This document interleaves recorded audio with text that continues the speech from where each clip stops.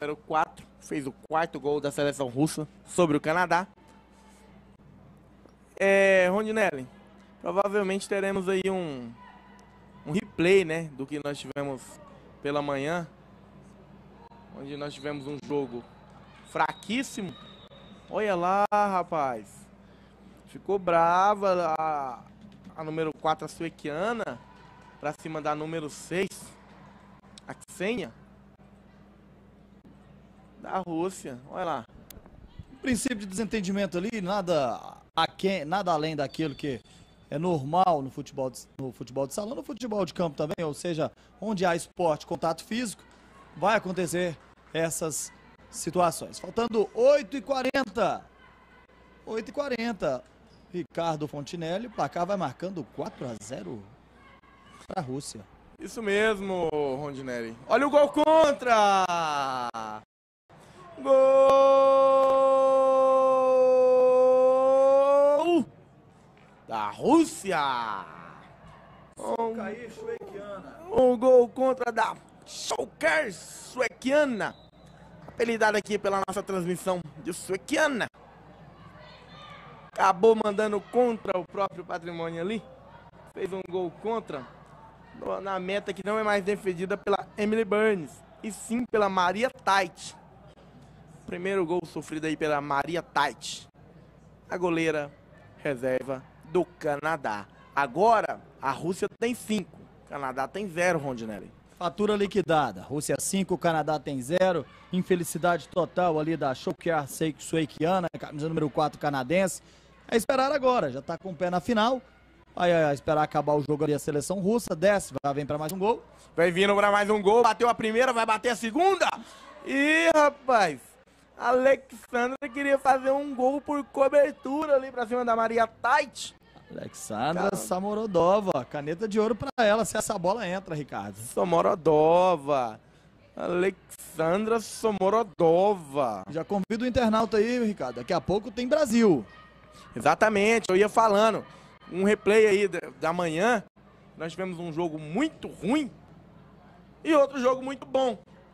Então nós vamos tendo aqui um jogo, digamos, mediano. Olha que drible agora da Elnara. Deixou a Navrup no chão. Que belo drible. E aí nós teremos daqui a pouco a seleção brasileira em quadra contra Portugal. Olha a seleção russa chegando. A árbitra disse que não foi nada. Mandou levantar. Daqui a pouco a gente tem Brasil e Portugal pela semifinal do feminino. Seleção brasileira que é grande favorita para ser campeã desse campeonato mundial universitário de futsal. Mas só tem que ganhar de Portugal. Vai ter que ganhar de Rússia amanhã. Se ganhar de Portugal, é claro, né, Rondinelli? Tá aí. Exatamente. Você vai torcer pra quem, Ricardo? Ah, tô pensando aqui, viu, Rondinelli? Acho que eu vou torcer. Pois, pois, tá em dúvidas? Estás, estás em dúvida? Ih, rapaz! Pisou ali na bola, é o Nara. A Margarita não entendeu muito bem. E a Emily Santos, que não tem nada a ver com isso, chegou, quase fez o golzinho de honra aí da seleção canadense. Perdeu mais uma oportunidade, assim como perdeu o jogo inteiro, né, Rondinelli? Perdeu oportunidades e acabou aí. Exatamente. Quando o jogo tava 2x0, 2 a 0 olha aí. Olha a Rússia chegando para mais um gol. Perdeu! Ô, oh, Yulia! Ô, oh, Yulia! Você passou a maior parte do tempo no banco de reserva. Entra e me apronta uma dessa. Teve uma grande oportunidade a Yulia. Cabelo curto ali é minoria entre as atletas aí do futsal feminino. A Yulia tem um cabelo curtinho ali. Perdeu uma grande oportunidade, Rondinelli Dantas. Ela gosta do banco de reservas. Meteu um lance desse pro ar, pro técnico olhar e falar, não, volta pra cá. Mas não foi isso não, desce a Rússia. Desce a Rússia mais uma vez. Quem tá por lá é a Anastácia. Fechou? Recebeu a Anastácia, vai fazer um golaço? Não, não, não. Tava em cima a marcação ali da seleção canadense. Olha lá. A Yulia tá recebendo orientações ali do treinador. Quando você chegar lá, Você mete o gol, o gol, você tem que fazer o gol. Você acerta a bola lá naquele quadrado lá, ó, tá vendo? Deve estar tá falando isso o treinador russo lá pra Yulia. Tentava tocar a bola ali a seleção canadense. Tá aí a número 6, a Xenia. Pontou dois ali pra cima, árbitro. É dois minutos de acréscimo, Rondinelli? Não é não, não é não. Tava contando o tempo ali que restava para cobrar o lateral. A atleta russa, que vem descendo mais uma vez. Seleção russa ali. Não vem aproveitando muito bem esses contra-ataques. Estamos tendo uma goleada, Rondinelli. Só aguardar ali. A chegada da seleção canadense. Uma goleirona lá. A linda. A linda Parece que sentiu a perna ali. Já saiu jogando. Ô, Maria! Maria Tait soltou uma bola fácil, fácil, fácil. É outra que veio do banco de reservas. Soltou uma bola facinha, só para encaixar. Acabou soltando ali, Rondinelli. Pois é, uma dificuldade. Olha ali a chegada ali da jogadora canadense em cima da jogadora russa. Nada demais.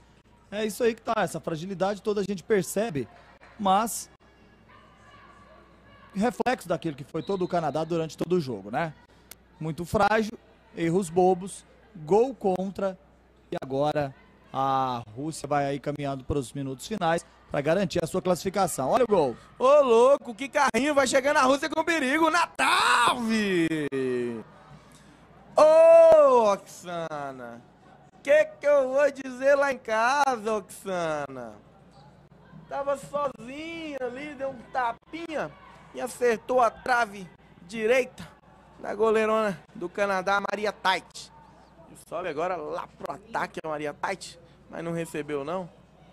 Olha, chute ali. Só acompanhou a Linda.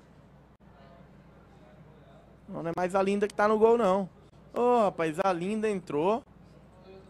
Só pra machucar. A Maria Sorina teve que voltar pro jogo porque a Linda machucou. Agora a batida ali canadense da Joel. Desde o primeiro tempo ela já estava se queixando, no momento que as garotas da seleção brasileira vão dando ar da graça aqui no ginásio. Rio Vermelho, daqui a pouco estarão em quadra, hein? Olha o Brasil aí. Tá chegando a Rússia mais uma vez. Olha a defesa da Maria Tait. Não foi muito bem agora há pouco, agora buscou lá no ângulo a Maria Tait. Fez uma defesaça, Rondinelli. Pois é, se redimiu, mas desce a Rússia. Desce a Rússia mais uma vez, vai receber lá, recebeu, vai fazer, fez! Gol da Rússia! Oksana! Perdeu uma grande oportunidade, mas agora ela fez. Agora ela deu um tapinha, macia, redonda, pro fundo do gol, Rondinelli. Agora a Rússia tem seis, o Canadá tem zero. Recebeu na frente da goleira Maria, dominou com tranquilidade, faltou ao Canadá durante todo o tempo, bateu no canto direito e o gol acabou acontecendo. Momento em que, um pedido de tempo, o que está acontecendo? Ah, quinta falta. É a quinta falta. Não é o pedido de tempo, não. É a quinta falta, só para avisar. O joguinho aguardo.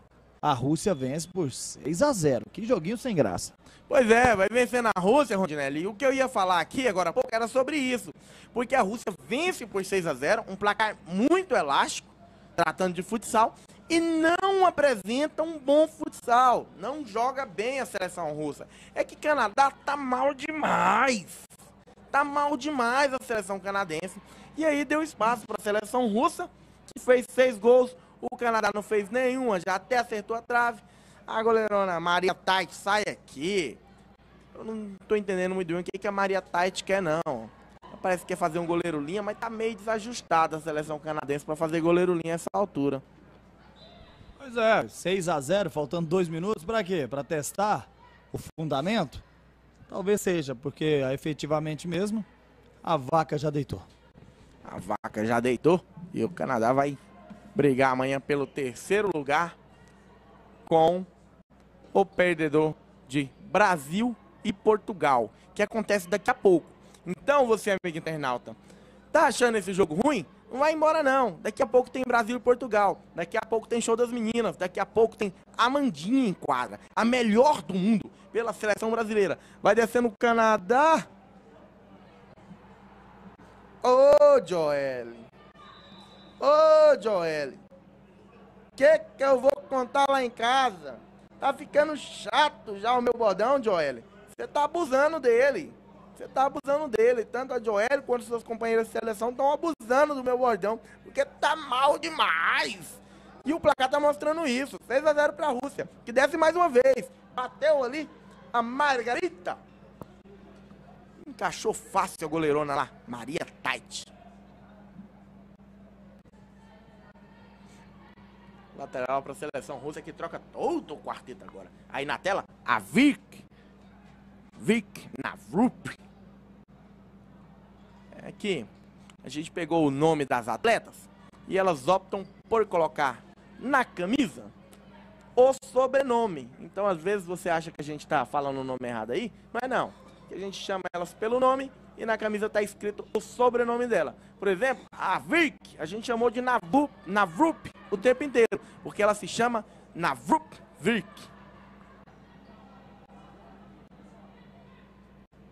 Toca a bola a seleção russa. Algumas seleções colocaram o nome dos atletas, outros já colocaram o nome do país. A seleção canadense colocou, optou por colocar o nome de cada atleta na camisa. Desce mais uma vez o Canadá, tenta fazer o de honra. Faltando 33 segundos. Será que dá? Será que dá? Será que dá? Não. Não deu não. Chegou no corte por baixo ali. A senha impediu a chegada canadense. Toca a bola ali. E agora vai descer a Rússia. Será que dá tempo de mais um gol russo? Tocou lá, vai tocar lá? Tocou lá a Oksana. Tocou do lado de lá. Olha a chegada russa. Mandou lá nas cadeiras. Nas cadeiras, a atleta russa ali agora. Cara do torcedor aí não tá muito feliz não vendo esse jogo, viu? O brasileiro que tá acostumado, o goiano que tá acostumado com um grande futsal, não vai gostando nem um pouco desse jogo. Sabe que jogo que ele vai gostar? O que vai começar daqui a pouco, Brasil e Portugal. Porque nesse aqui não dá tempo para mais nada. Acabou. A Rússia está na final. Venceu por 6 a 0. Venceu e convenceu, Rondinelli. Com sobras, com sobras. Seleção russa está na final, merecidíssima. Fez uma ótima campanha, excelente campanha para chegar nessa grande decisão. E agora aí, depois dessa vitória sonora goleada 6 a 0 sobre as canadenses, aguarda o vencedor, a seleção vencedora aí do confronto entre Brasil e Portugal. Grande jogo, parabéns para as russas que agora vão curtir hotel, ficar tranquilo, bater aquele, aquele alimentação, sair na noite goiana de pleno sábado, de repente vai dar um pulo na Feira da Lua e assim vai.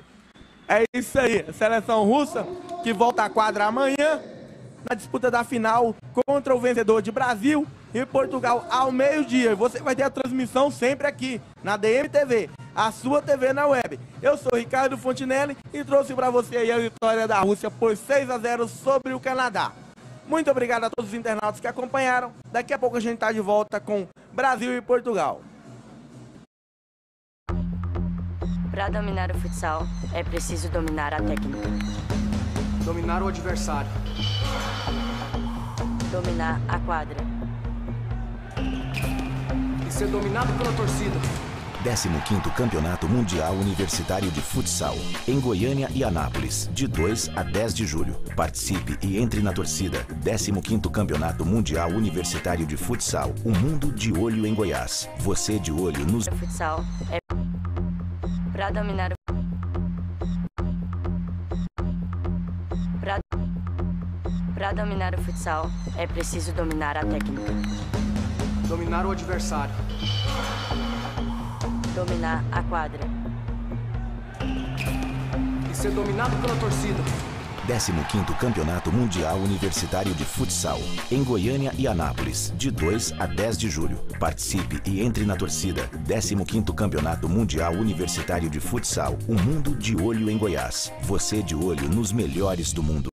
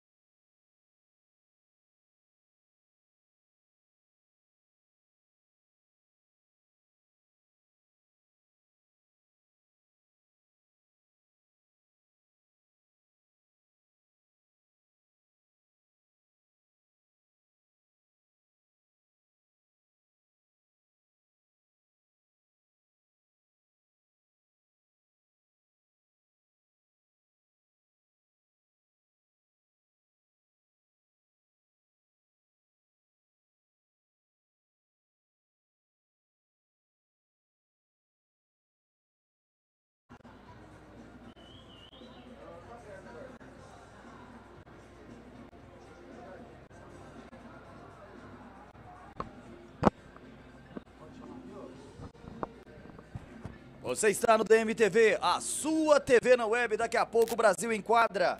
Brasil enquadra para mais um desafio valendo vaga na grande decisão, tendo em vista que a Rússia, a Rússia já garantiu a sua vaga. No masculino já teremos Brasil e Rússia na decisão masculina e agora no feminino está no mesmo caminho. Brasil passando pela seleção de Portugal vai enfrentar a Rússia. É isso aí, Ricardo Fontinelli. Exatamente, Rondinelli. É o que o pessoal comentava aí nos bastidores, nas arquibancadas, que as grandes favoritas, tanto no masculino quanto